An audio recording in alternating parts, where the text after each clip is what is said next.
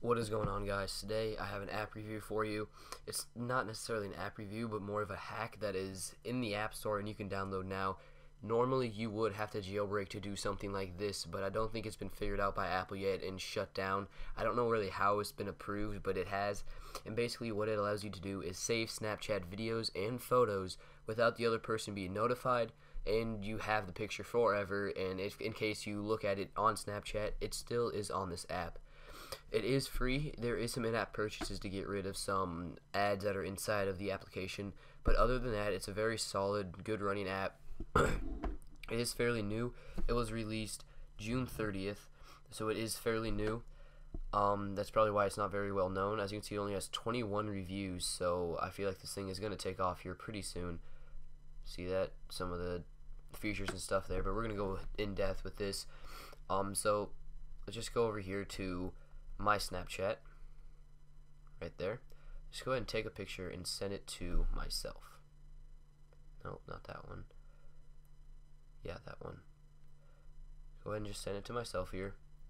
I'll receive it. Okay, so I'm just going to leave it. I'm not going to open it. I'm going to go back into SnapSave. That's I believe that's what it's called. Okay, and you're going to get prompt up. You're going to sign in. You're going to click enter. And it's going to see this is the one that I just received less than 20 seconds ago and it says cached. Once it says cached, that means you always have the picture. You will always have it. And as you can see, these are last or previous ones 11 days ago, 15 days ago, 2 months ago. I've already viewed those, so I can't go into them. It'll just come up with an error. But this is the one I just sent. I can click on it and I have it always. Then what you can do is you can just save it to your camera roll and you're good to go. Well, you do have to upgrade to the Pro version to save them, but you can just screenshot it and you're fine. That's what I do. I just I'll just screenshot the picture of the cache video and yeah, you're set. Or you can pay the 99 cents and get that. um so yeah, that's that. You always have the picture then, so you don't even necessarily need to save it. It's always going to be there. You can always find it. You just got to scroll through.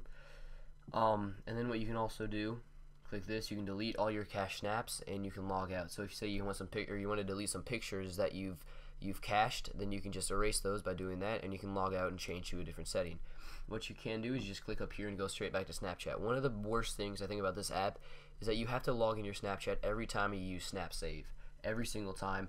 Um, what basically why is because Snapchat doesn't allow two sessions open because of reasons just like this. So that's why you have to log in. But it's not that big of a downside. Log in, you still got your snap there ready to go.